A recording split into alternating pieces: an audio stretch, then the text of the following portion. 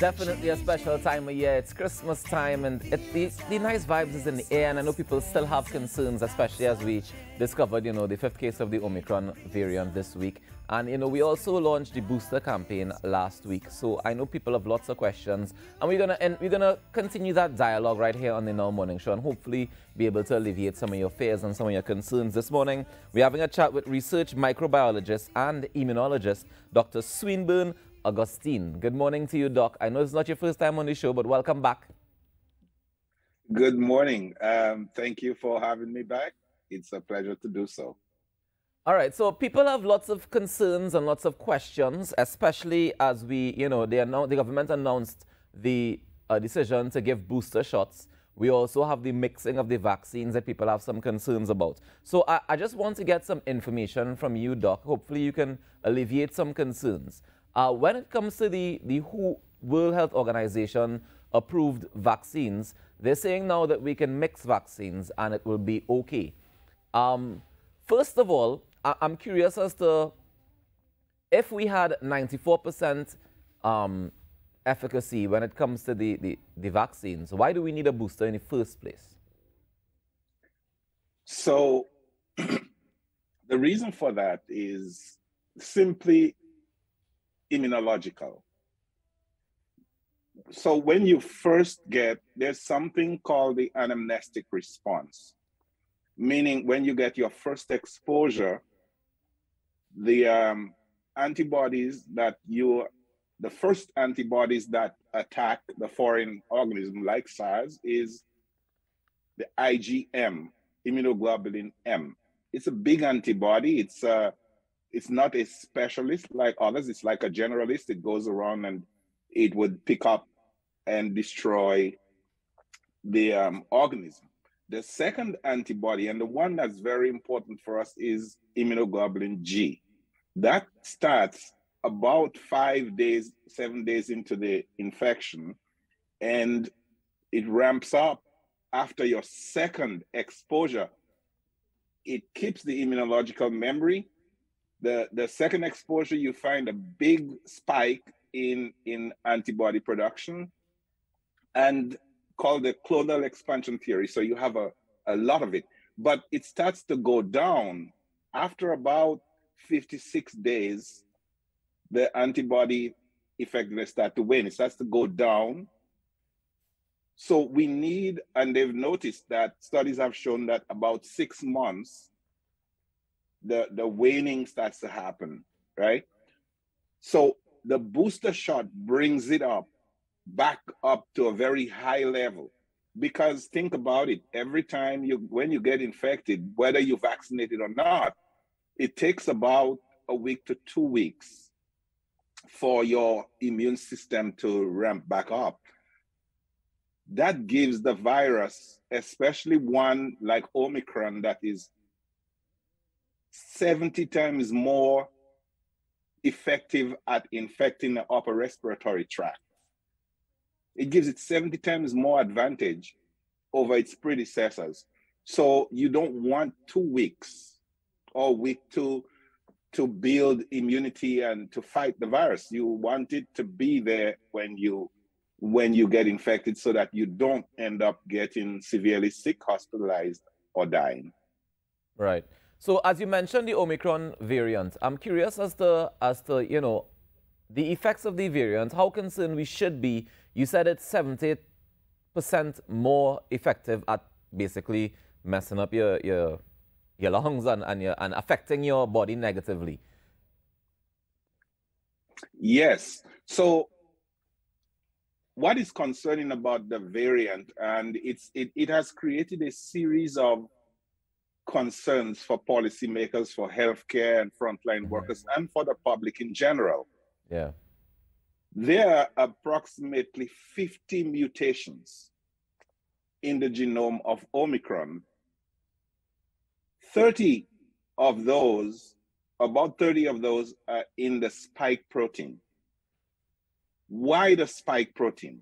Because that is the protein that we are protected against in almost all of the vaccines, mRNA, Johnson and Johnson, all of the vaccines that we have. So it's trying to change so that the vaccines that we have are non-effective. That is concerning because it will throw us back into lockdowns if yeah. it is able to escape the, the vaccines. So that is one of the major concerns that we have. So then, Doc, so then be honest with me and level with me here. Is vaccination our only way out then? If this, if this virus is now uh, transforming itself to be able to fight against the vaccines that we have created to fight the virus, how do we get out of this cycle? Since last year, May, about that time, I wrote two newspaper articles one for Image Magazine in Dominica, and the other one for the Ward Post that um, former Jamaican ambassador to the United Nations, um, Ambassador Ward, um, runs. And the title of this was The Way Out of the Pandemic for Dominica and for the Caribbean. And in there, I stated categorically that the vaccines are the only way out for us because it helps us build our defenses against the virus. But what's important about those vaccines is that one of the very important features is that once you're vaccinated, it is hard for the virus to mutate inside of you if you're vaccinated.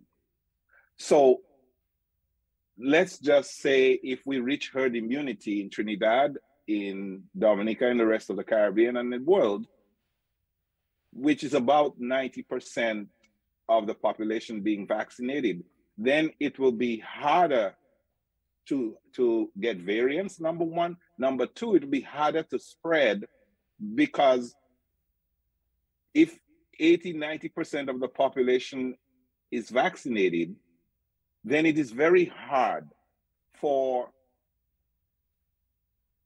there to be community spread because those 20%, the 10% unvaccinated people, they're not all congregated in the same place. Right. They are different parts of, of Trinidad. So it's like putting a hundred marbles in a jar, a big jar, and 90 of them are red and 10 of them are blue. If I blindfolded you and you shook that jar, you are more likely to come up with a red marble because there are 90 of them. So that that is the the the thinking that if many people are vaccinated, 90% or so vaccinated, then it is much more likely that you'll meet another vaccinated person. You can't really spread it. And you you you're not getting sick. So, doctor, that's why I think vaccination is important. Right. But, Doc, are there any examples of places that have achieved herd immunity as yet? There are some places, um, Israel and some others, that have reached there. But that is one of the reasons that they found okay we there were still infections in yeah. vaccinated people although it was not serious but what um, they're finding is that, especially with Omicron, and where it is affecting us, it is in the upper respiratory tract, in the bronchial tubes, right? That leads down into the lungs. Alpha, I mean, Alpha, Delta, and the other um, variants, they actually infected the lung tissue itself, where you're exchanging oxygen for carbon dioxide in, in the alveoli, right? But the good news about Omicron is that it is very, very slow, about 15 to 20% slower at infecting the lung tissue itself, but 70% more effective at the upper respiratory tract, which is a little less damaging than the lung tissue itself. All right. Well, I want to thank you so much for joining us this morning and for sharing this bit of information with the public. And hopefully, some people have a better understanding of why it is we need that booster shot, why we need to continue getting vaccinated, and make sure that we uh, achieve that herd immunity status. Thank you so much for joining us this morning, Dr. Augustine. You're very welcome. And I wish everyone, all your listeners throughout Trinidad and the Caribbean, a healthy, safe, and enjoyable Christmas and holiday season. And same to you, Doc. Take care. My pleasure. All right, that's Dr. Swinburne, Swinburne Augustine, uh, research microbiologist and immunologist, telling us a little bit about the science behind, you know, why we need more vaccinations, why we need to get to that herd immunity status, and how we can achieve, you know, a safer environment, a safer population. And I hope that you guys continue to go out there and, and get your vaccine, whether you think it's mandatory or not. Let's take a quick break and come back with more Inside the Morning Show. Stay tuned.